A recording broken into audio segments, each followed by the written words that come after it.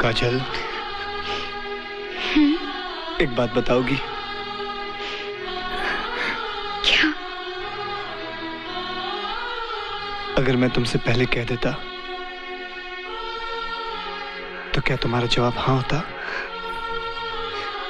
अब क्यों पूछ रहे हो राज? क्योंकि ये जाने बगैर मुझे चैन नहीं मिलेगा। जानकर भी नहीं मिलेगा।